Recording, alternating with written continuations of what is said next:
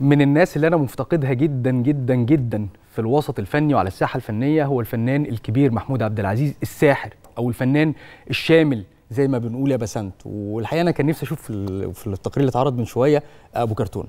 بحب أبو كرتونة قوي آه يعني هو من أوسم وأكتر موهبة ويعني من أحسن فعلا نجوم جيله عمل يعني أدوار ما حدش يقدر ينساها علمت في أذهان يعني المشاهدين رأفت الهجان الساحر عبد الملك زرزور الشيخ حسني عظيم فعلا عنده أدوار كده ما نقدرش إن إحنا نتخطاها ولا ننساها وكل فعلا ما, ما بنفتح أنا أنا شخصيا كل ما أفتح التلفزيون وألاقي له أي حاجة حتى لو قديمة قوي بفضل أتفرج عليها. صحيح. عنده كاريزما آه، رهيبة إنه يشد المشاهدين وتمثيله ال- السهل الممتنع. يعني ما تحسش إن هو بيمثل بيعيش الشخصية جدا.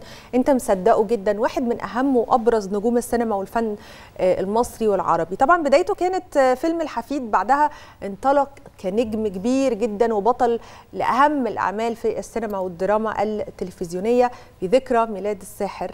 خلونا نشوف هذا التقرير.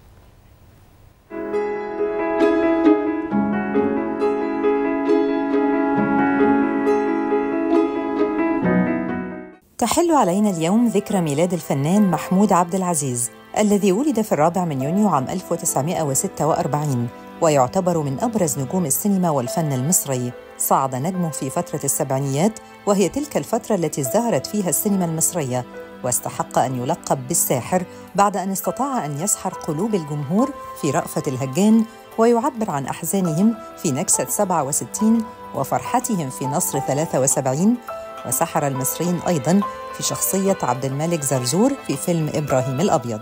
أنا حييتك تاني. غشيم زيك تن روحك طلعت من ياما. اتكلم وظهر سحر محمود عبد العزيز بشخصيته وروحه الخفيفة أروع ما يكون في دور الشيخ حسني في فيلم الكيت كات عندما جسد شخصية الكفيف الذي انطفأ نور بصره وعاش كفيفاً. برضو الشيطان صحاني لقيت قدامي أحلى منظر شفته في حياتي كلها. تفتكروا شفت إيه؟ القمر. لا القمر ده أنا شفته كتير قبل كده أروح أمك ولد الفنان محمود عبد العزيز في حي الورديان بمحافظة الإسكندرية لأسرة متوسطة الحال وتخرج من كلية الزراعة بجامعة الإسكندرية وحصل على درجة البكالوريوس من كلية الزراعة ثم درجة الماجستير في تربية النحل.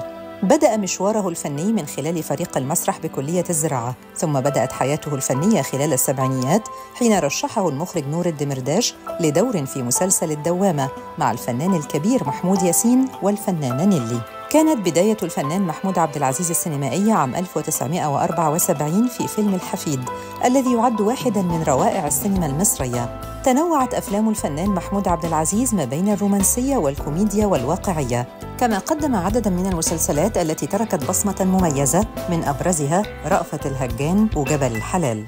اللي شاف الموت ما يخافش منه. إزاي؟ أصل شفته وعرفته يا ربنا يطول لنا في عمرك أقسم بالله شفته حصل محمود عبد العزيز على العديد من الجوائز السينمائية من مختلف المهرجانات الدولية والمحلية. رحل عن عالمنا الساحر محمود عبد العزيز بعد صراع مع المرض في الثاني عشر من نوفمبر عام 2016 عن عمر ناهز السبعين عاماً.